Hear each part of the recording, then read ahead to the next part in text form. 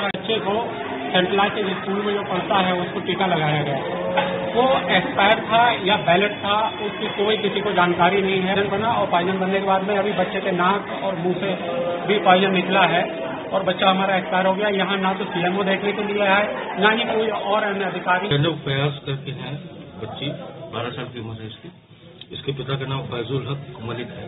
ये बच्ची Saint licence में पढ़ती थी। कल हमारा एमआर कैंपेन का वैक्सीनेशन कैंपेन चल रहा था। उसमें सभी नौ माह से लेकर पंद्रह वर्ष तक के बच्चों को एमआर का टीका लगाया जा रहा है। कल मॉर्निंग में वहाँ वैक्सीनेशन था हमारा सेंट लाइसेंस में।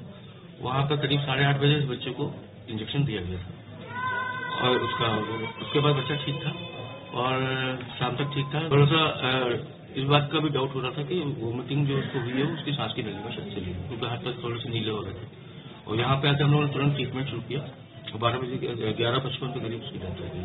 पर है कि वैक्सीनेशन में क्योंकि पर वाइल दस डोजेज होती हैं डोजेज की सिरिंज जो है वो उतनी एम देती है जितना उसको देना होता है उससे ज़्यादा नहीं ले सकती। दूसरी बात, दस डोजेज होती है, अगर वैक्सीन खराब हम मानते तो नेचुरली फिर नौ बच्चे और खराब होने, नौ बच्चों को और तकलीफ़ होनी चाहिए थी। एक ही बच्चे को ये प्रॉब्लम हुई है तो इसलिए वैक्सीन को हम दोष नहीं दे सकते।